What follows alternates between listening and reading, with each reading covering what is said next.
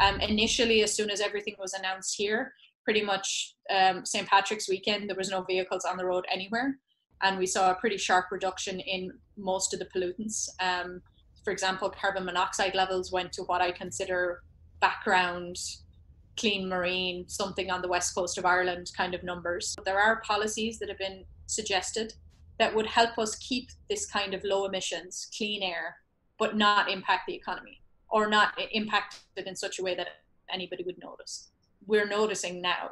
I mean, New York, the number of people that are out of jobs is just unreal, and there's no social safety net here.